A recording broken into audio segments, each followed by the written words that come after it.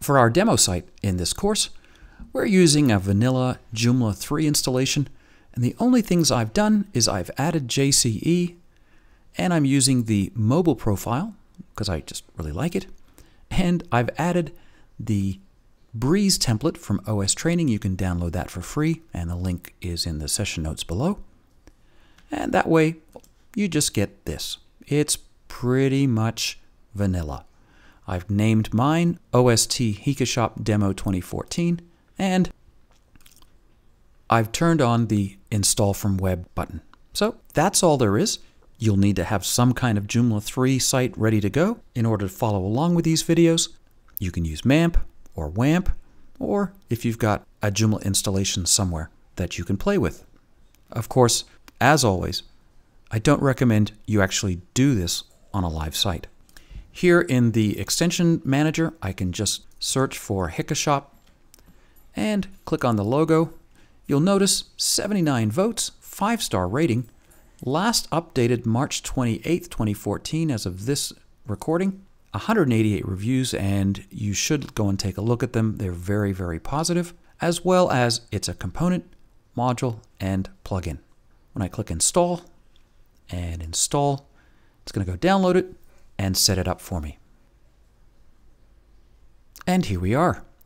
The first time you install Hikashop, you're asked what kind of setup do you really want? So the number one, select how you want to access the pages. Do you want to have a menu item for products, a menu item for categories, or a list of categories in a module? And again, it doesn't really matter what you choose here because you can always edit it later as well as add other things later. It's just a quick little setup. So I'm going to say a menu item for products. The second question they ask is, what kind of layout display do you want? Do you want a grid, a list, or a table? I'm going to stick with grid because I kind of like that. And what's my default location? Well, my default location is the United States. And I live in the amazing state of Indiana. Steve lives in Georgia. And I'm going to leave that blank because you really don't need to know where I live. the main parameters for my shopping cart then, US dollars. Feel free to choose whatever you want there. If you live in a country with GST or a VAT, just put the tax name in there and the percentage. If you have a PayPal address and you want to automatically set this up, you can put your email in there. And generally speaking, what kind of products are you going to sell? You have virtual goods, shippable goods, or both. Well, I'm going to select both. Save and go create your first product.